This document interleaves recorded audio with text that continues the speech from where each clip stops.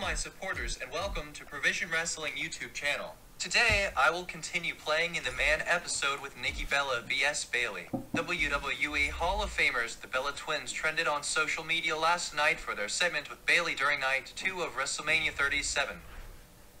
Bailey did not have a match on WrestleMania, but the storyline for both nights was that she kept annoying the hosts, Titus O'Neil and WWE Hall of Famer Hulk Hogan, and had been disrespecting some of the other 2020 and 2021 Hall of Famers. This continued when Bailey interrupted the final stage segment with Hogan and Titus during night 2.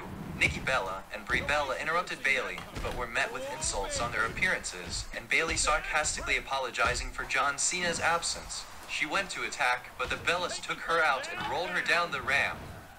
Nikki took to Instagram today and commented on possibly wrestling Bailey if she's able to return to the ring. It was reported back in late March that WWE has plans for the Bellas to make in-ring returns sometime this fall. They have discussed ring returns in multiple interviews as of late, expressing interest in competing for the WWE Women's Tag Team titles, currently held by Nia Jax and Shayna Baszler. Nikki has not wrestled since losing to Ronda Rousey at WWE Evolution in October 2018, and Brie has not wrestled since the October 8, 2018 Raw, where the Bellas teamed with Rousey for a six-woman win over the Riot Squad. Bailey has not commented on a possible match with Nikki or Brie as of this writing.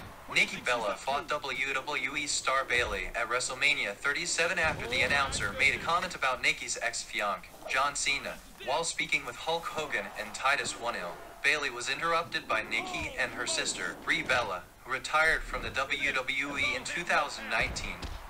I don't know what you two twin idiots are doing over here looking like Elmo. Okay. I don't know if you heard, but John Cena is not here tonight, Bailey, 31, said during the Sunday Today, April 11 special. Immediately, Nikki, 37, smacked the microphone out of her hand before she and Brie, 37, proved they've still got some serious wrestling skills. Of course, the bit was all in good fun.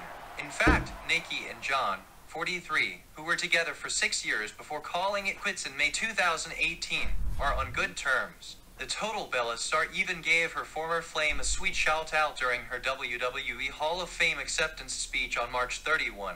John, thank you for teaching me a lot about this business and truly helping me find my fearless side, she gushed. Hope you enjoy this video game and please don't forget to subscribe to my channel.